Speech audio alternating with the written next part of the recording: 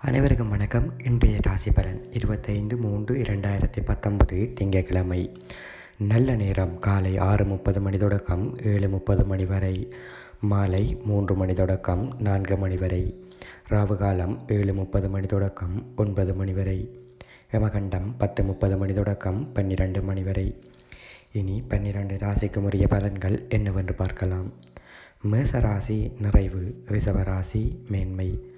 மிதுன ராசி ஆதாயம் கடக ராசி அசதி சிம்ம ராசி நற்செயல் கன்னி ராசி உயர்வு துலாம் ராசி வரவு விருச்சிக ராசி ஆக்கம் தனுசு ராசி அனுகூலம் மகர ராசி நட்பு கும்பராசி நஷ்டம் மீனராசி ஜெயம்.